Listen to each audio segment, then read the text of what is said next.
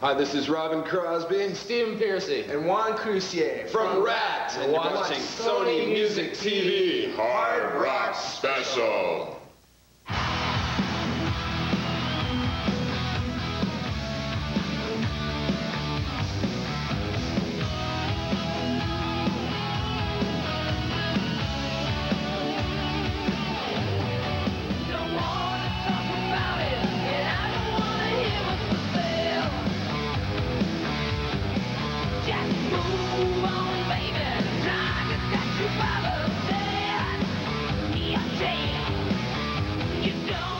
This is Warren DeMartini, and you're watching Sony Music TV.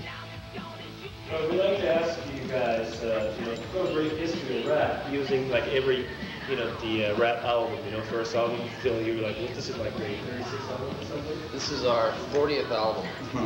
Now, uh, the EP was obviously our first effort. Uh, let's see, band got together as we know it now in 1982. Yeah. Late 82. Uh, played all the clubs you can play in Los Angeles, everywhere. We even had to pay to play. Uh, we had to change our name to play some places. But the EP was uh, very special to us and still is for the fact that we had to do it ourselves. Nobody signed us. Nobody, you know, I think we were being overlooked. And when we went in to do the EP, which we did in three days, uh, you had the, the real thing there. It was the beginning of, you know, Ratt as we know it. It's very strong, raw, and exciting. And it was a good year.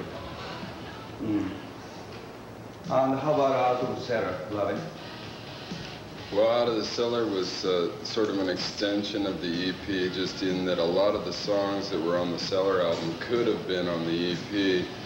But uh, when we got the deal with Atlantic, um, we decided to go ahead with, with uh, all the tunes.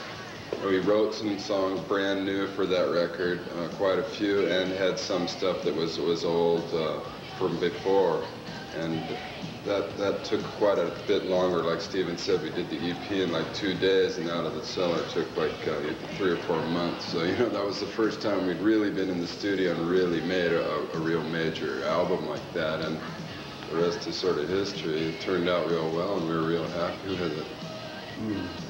So, you know, you got a double platinum album and triple, you know, platinum of Out of the Cellar, right? Yeah, uh, Out of the Cellar was, to us, pretty much out of the cellar. I mean, we had nothing, and it, it, we were we're still hungry as far as wanting uh, better music for us. But out of the cellar in '84 was uh, there wasn't too many acts really doing what we did in '84. I think it shows in music and you know the whole package really. We really wanted that album to go gold. It was a big goal for us, and it ended up selling about three million albums. So. We wanted it just to go vinyl. Yeah, we just wanted it to come out. So it ended up being really, you know, everybody was really excited. Yeah. That was the year of the rat, yes. 1984, on the Chinese calendar. So I guess it was in the stars. そういえばアルバムタイトル曲っていうのは結局今までのアルバム今度のアルバムにも入入らないことになりますねそれって何か理由があるんですか There was. No, we don't like to put songs that are titles of an album.